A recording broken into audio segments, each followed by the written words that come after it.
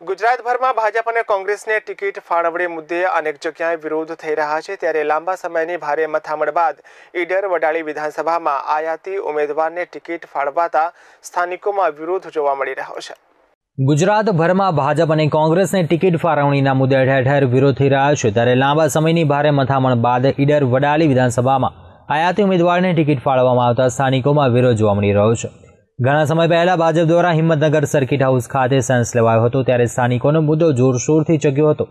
ઈડર અને વડાલી તાલુકાના સ્થાનિક ભાજપી નેતાઓ દ્વારા નિરીક્ષકોને સ્થાનિક ઉમેદવાર ટિકિટ ફાળવતા સ્થાનિક સંભવિત ઉમેદવારો દ્વારા એકજૂટ થઈ રજૂઆતો કરાઈ હતી. જેની નોંધ લઈ ભાજપ મોવડી મંડળ દ્વારા ભારે સસ્પેન્સ રાખી અહીંના સમયે બહારના ઉમેદવાર ગુજરાતી ફિલ્મ કલાકાર હિતુ કનોડિયાને ટિકિટ ફાળવી દેવાતા ઈડર શહેરમાં બહારના ઉમેદવારને બદલી નાખી સ્થાનિકને ટિકિટ આપવામાં આવે તેવી માંગ સાથે હારે છે હારે છે. બહારના ઉમેદવારની લાલચમાં ભાજપ હારે છે. તથા સ્થાનિક ઉમેદવાર હી ચલેગા. ગુજરાતી ફિલ્મ કા નહીં તેવા બેનર સાથે રેલી કાઢવામાં આવી હતી અને બહારના ઉમેદવારોનો વિરોધ નોંધાવ્યો હતો. સ્થાનિક ઉમેદવારની મુહિમ ચાલતી હતી.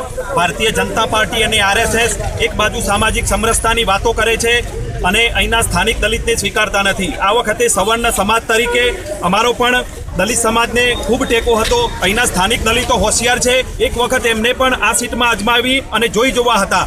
ભારતીય જનતા પાર્ટીએ આ નટ હિતુ કનોડિયા જેને રાજકારણની કોઈ સૂગ નથી આવા વ્યક્તિને અહીંયા મૂક્યા છે. એટલે આ મીડિયાના માધ્યમથી પ્રદેશ ભારતીય જનતા પાર્ટીને અમે કહેવા માગીએ છીએ, આ વખતે ગંભીર પરિણામ આ સીટની અંદર આવી શકે એમ છે. જય હિન્દ. પ્રફુલ બારોટ સાથે CN twenty four news Idar.